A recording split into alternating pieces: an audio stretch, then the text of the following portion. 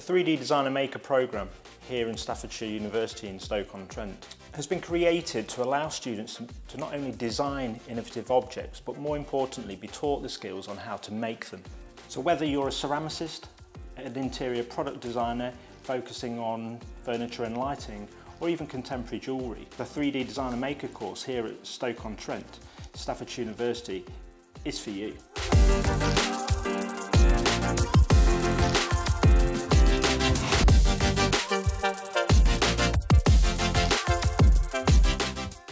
Don't like working in small scale, so I always work in full scale.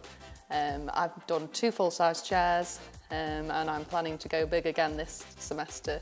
Um, so yeah, I really, uh, I don't think there's a limit on scale here at the university. Just um, go for a size you're comfortable with if you do come, um, but I'd say go big.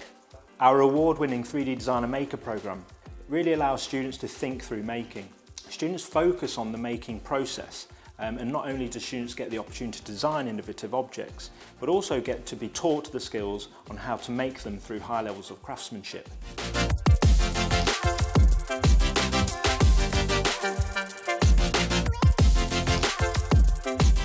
I help the students with all aspects of metalwork from the large scale sculpture to the, to the uh, product design down to jewellery. I chose this course because well, I'd been on a few trips with my college to a bunch of different universities. Out of all of them, the facilities at Stoke were absolutely amazing. I was completely in shock by what they had available. The tutors seemed really nice and the technicians were really nice when we came as well. I was interested in Staffordshire University because I felt like they had a more professional approach to their course and the facilities as well was very interesting. A small course where you can really get in touch with students and your colleagues and you got incredible facilities just in a minute walk. I like very much the possibility of sharing my experience with students, not just a theoretical experience, but also a technical experience I built up over my, my age of working and studying.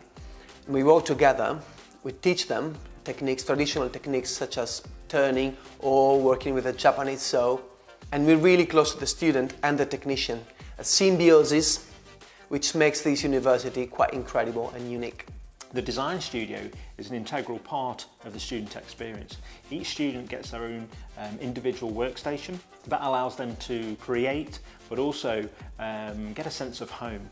Um, so that kind of desk space is, is key throughout their education and learning time here. One of the best things for me is the studio culture being able to be in a room full of designer makers who are from different backgrounds, different specialisms where we can all work together, share ideas, bounce off each other has really helped me throughout my experience at uni and it's probably one of the best things for me to be able to also make friendships and help each other as well.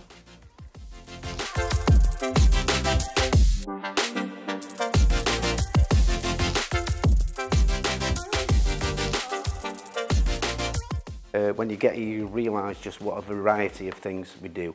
Uh, and, you, and you're always in good hands. You have to be in good hands because you're in Stoke-on-Trent. Stoke-on-Trent, as you're probably aware, is the uh, epicentre of the whole of the ceramic industry, uh, especially within the UK. Uh, and it goes back hundreds and hundreds of years. You're talking Wedgwood, Spode, Moorcroft, you name it. Anybody of any prestige is and quality is here in Stoke-on-Trent.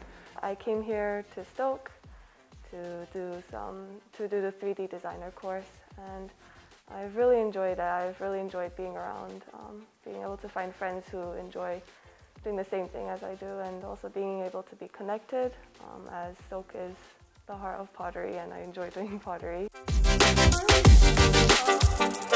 get the opportunity to work on lots of live briefs and we get to work with the design teams of companies such as M&S where I made a planter, SCP where I made a stool and Wedgwood where I did lighting.